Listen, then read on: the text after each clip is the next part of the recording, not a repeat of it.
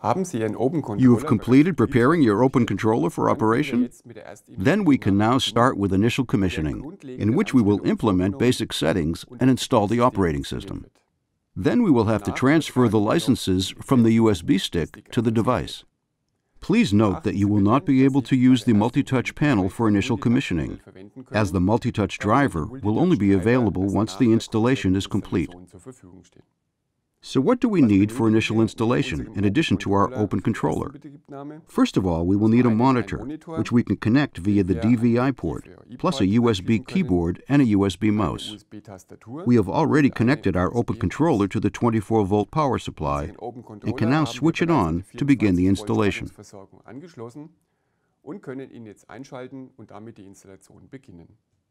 At the start of the installation, some basic system properties are set, and then the operating system will be installed. We can now lean back and relax and watch the installation progress, as it will take some time until the first dialog will appear. The first dialog will prompt us to set our country,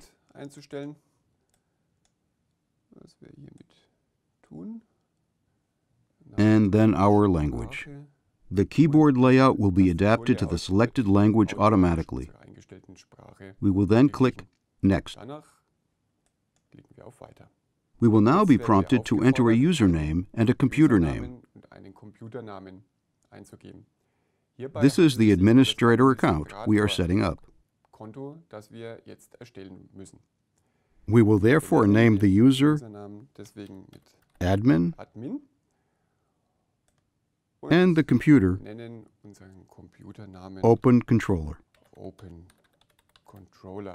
The computer name can be up to 15 characters long and must not contain any special characters. We will click Next and be prompted to enter a password for the admin account. For security reasons, we will do that now and will then repeat the password and also add a password hint.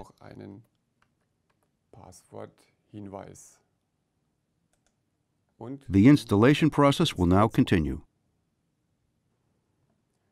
We accept the Microsoft license conditions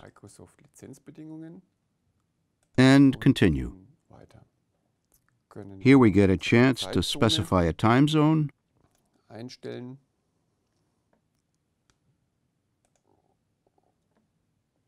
and then continue. The system will now restart. Once the system has restarted, we can modify or apply the IP address for the X2 interface.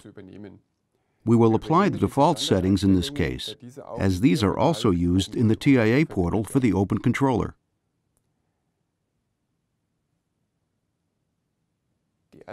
Our first Windows login will be under the user account operator. The user account is created automatically with standard user rights by Windows during installation and is set up with the auto login function. Since we don't want to assign a password here, we will simply skip the prompt with Enter.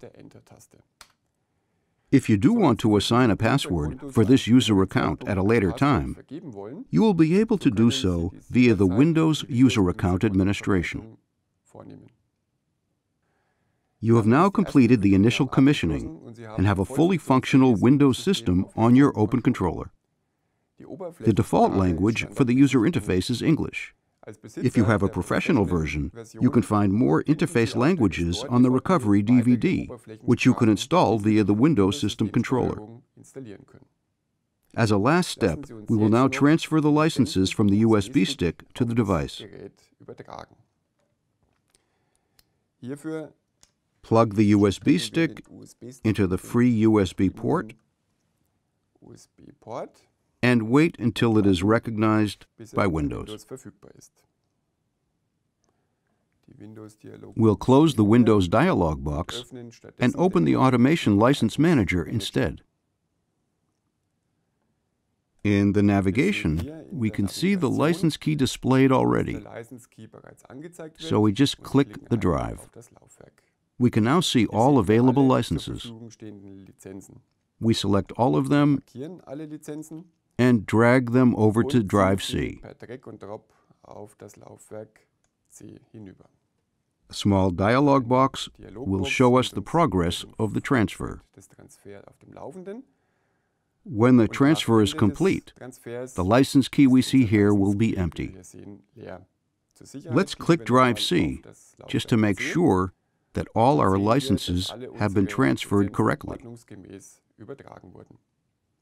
We can now close the Automation License Manager and remove the USB stick. We have successfully completed all steps that require direct access to the Open Controller.